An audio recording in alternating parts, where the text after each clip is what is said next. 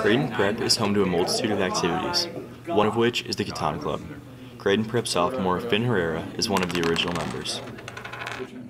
I joined when way, way back in like November or October, and it was when me and Mr. Savela were talking about playing Catan, and then a few other people hopped on that train, and then uh, here we are.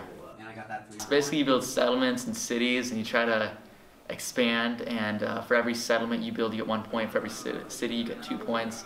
And the goal of the game is to expand uh, and kind of conquer the, the land. And then once you reach 10 points, you win. So it's uh, gets pretty intense. Focuses a lot on trade. Uh, I like just totally cutting someone off. They're trying to expand one way, but then you totally just put a road in front of them, and then the look on their face of just straight anger. It's uh, it's it's that, that that's what's fun about the game. Loop around Catan Club is a new club this year, founded by Creighton Prep math teacher Mr. Savilla.